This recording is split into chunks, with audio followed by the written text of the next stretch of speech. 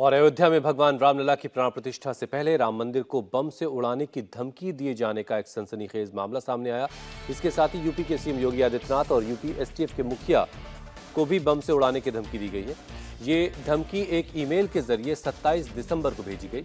ये ईमेल भारतीय किसान मंच के राष्ट्रीय अध्यक्ष देवेंद्र तिवारी को भेजा गया। ईमेल भेजने वाले का नाम जुबैर खान बताया जा रहा है। उसका कहना है कि वो आतंकी संगठन आईसिस से जुड़ा हुआ है।